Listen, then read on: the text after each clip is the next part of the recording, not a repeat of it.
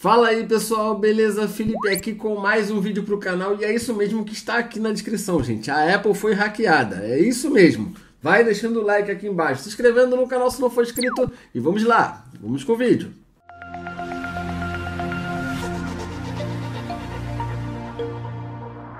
Bom, gente, vamos lá. Como todos nós sabemos, nós estamos na internet e estamos sujeitos a algum tipo de ataque hacker, né? Qualquer um está sujeito a algum tipo de ataque hacker. Então, por isso que você deve ter muito cuidado quando você clica em algum link, quando alguém te envia alguma coisa. Tem que ter muito cuidado sempre. Algum e-mail suspeito, evite clicar. E no caso, a Apple foi a hackeada da vez. Ela foi hackeada por um grupo russo. Foi um ataque ransomware né? Foi um tipo de ataque ransomware. Mas na verdade não foi exatamente a Apple, foi uma empresa com sede em Taiwan que se chama Quanta, que faz parte da Apple, que tem lá todos os projetos e foi exatamente aí o alvo. Foi nos projetos da Apple. Os hackers russos estão cobrando 50 milhões de dólares. É uma grana, uma grana que eu nem sei quanto dá isso em real, nem sei quantos reais dá isso. Bom, segundo a matéria que está aqui na descrição, a matéria diz o seguinte: a Apple foi alvo de um ataque ransomware de 50 milhões de dólares após o roubo de um monte de esquemas de engenharia e fabricação de produtos atuais e futuros da Quanta, uma empresa com sede em Taiwan que fabrica MacBooks e outros produtos da Apple. Não sei se vocês se lembram, mas algumas semanas atrás vazou um esquema de um MacBook que teria várias portas, né?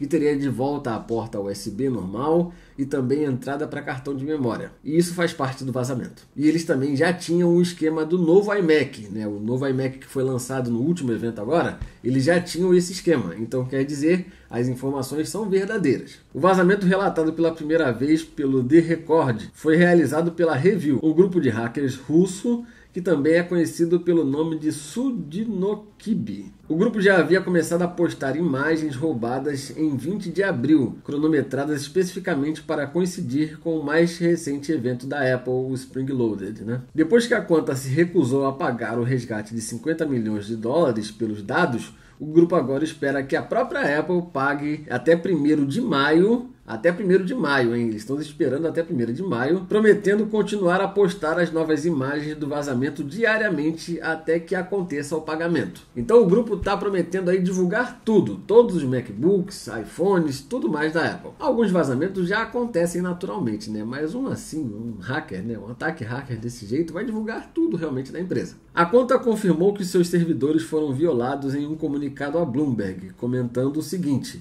a equipe de segurança da informação da Quanta Computer trabalhou com especialistas externos em TI em resposta a ataques cibernéticos a um pequeno número de servidores da Quanta. A Quanta também diz que não há impacto material na operação realizada da empresa, como resultado do hack. Esse grupo aí tem um histórico de atacar outras empresas, né? Eles já atacaram a Acer, por exemplo, né? uma outra empresa que fabrica notebooks. Mas o negócio do ataque à Apple é que a empresa é mais visada e eles querem uma grana ali com base nos segredos que a Apple tem, né? Para os próximos lançamentos, no caso. Nos arquivos também estão contidos um novo MacBook Air M1, né? A atualização do atual M1, e um notebook ainda não lançado pela empresa com portas adicionais, que foi o rumor que já está aí há algumas semanas. Então é isso aí, gente. Nem a Apple resistiu a um ataque hacker, sofreu um ataque hacker também e pode ter que pagar uma grana de resgate para ter as suas informações não violadas, né? No caso, já está na mão dos hackers. Eu acho que não é garantia nenhuma também de que eles vão divulgar alguma coisa, mesmo pagando, no caso, né? Eles podem pagar e mesmo assim eles divulgarem. Eu acho que isso aí pode ter alguma importância se eles estiverem com o desenho dos novos iPhones, né? Eu acho que do MacBook com portas assim, eu acho que a Apple não ligaria muito não. Pode divulgar no caso. Mas se eles estiverem o desenho dos novos iPhones, né, ou de algum fold da Apple, alguma coisa assim, Aí pode ser que a Apple queira pagar a grana para eles, para eles guardarem o segredo. Então vamos aguardar as cenas dos próximos capítulos, beleza? Mas é isso aí, nem a Apple resistiu a esse ataque hacker. Na verdade não foi bem a Apple, foi a Quanta, mas faz parte da Apple, né? Tem lá todos os produtos da Apple, tudo da Apple, então a Apple acabou sofrendo, talvez a Apple que tenha que pagar agora.